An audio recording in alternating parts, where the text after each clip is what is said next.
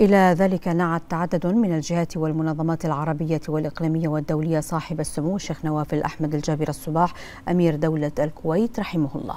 حيث استذكرت الأمانة العامة لمجلس التعاون لدول الخليج العربية المناقب الحميدة لأمير دولة الكويت الراحل مشيدة بما تكللت به مسيرة سموه من حب خالص واحترام وفير كنه لشعبه وعطاء كبير للأمتين العربية والإسلامية.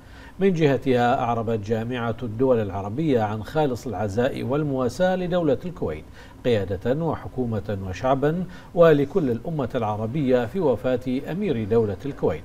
معتبرة أن فقيد الأمة العربية هو رمز للإنسانية السمحة.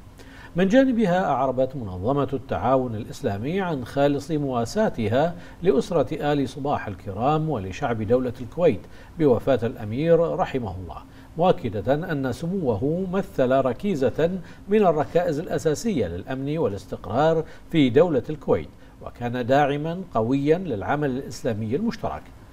بدوره نعى الأزهر الشريف صاحب السمو أمير دولة الكويت منوها بأن الفقيد قضى طيلة حياته في خدمة شعبه ووطنه ودعم قضايا الأمتين العربية والإسلامية.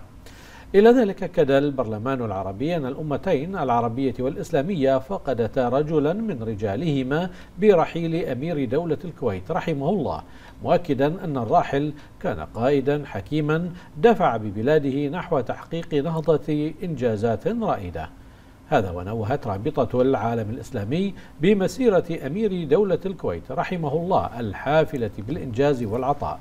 متقدمة بخالص التعازي والمواساة للأمتين العربية والإسلامية بوفاة الفقيد.